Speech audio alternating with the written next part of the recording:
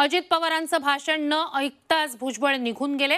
आपल्याला माहिती आहे कर्जतमध्ये राष्ट्रवादीचं चिंतन शिबिर सुरू आहे आणि आत्ता सध्या अजित पवार बोलतायत. मात्र त्यांचं भाषण सुरू होण्यापूर्वीच भुजबळ तिथून बाहेर पडले.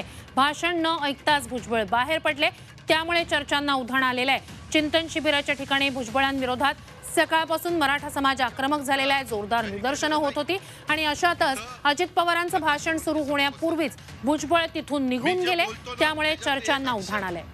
मी चुकीचं आणि खोटं बोलणार नाही. काय कारण आहे? आपला परिवार आहे आपलं एक कुटुंब आहे.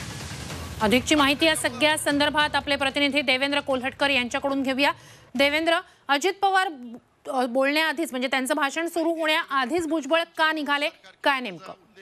श्रुती आपल्याला माहिती की राष्ट्रवादी काँग्रेस पार्टी अजित पवार गटाचं चिंतन शिबिर जे आहे ते कर्जत इथे रायगड कर्जत रायगड इथे होतं. छगन भुजबळ यांचं या शिबिरामध्ये भाषण झालं आणि त्यानंतर छगन भुजबळ या हॉटेलमधून बाहेर पडले. आता सध्या अजित पवार यांचं भाषण सुरू आहे. मात्र अजित पवार यांच्या भाषण ऐकण्यासाठी छगन भुजबळ उपस्थित राहिलेले नाहीत. आपल्याला माहिती आहे की सकाळपासूनच छगन भुजबळ यांना या मराठा समाज बांधवांकडून विरोध केला जातोय. ठिकठिकाणी कर्जतमध्ये त्यां विरोध प्रदर्शन केलं जात आहे छगन भुजबळ जेव्हा बाहेर पडले तेव्हा देखील हॉटेल बाहेर उपस्थित असणाऱ्या मराठा समाजाच्या कार्यकर्त्यांनी त्यांना विरोध प्रदर्शित केलेला आहे. मात्र अजित पवारांचं भाषण होण्यापूर्वी छगन भुजबळ जे आहे ते या ठिकाणाहून बाहेर पडलेलं आपल्याला पाहायला मिळालंय.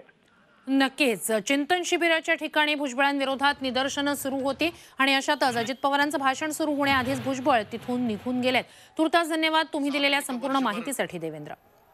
दीड वर्ष. भंडाऱ्याची उधळण म्हणजे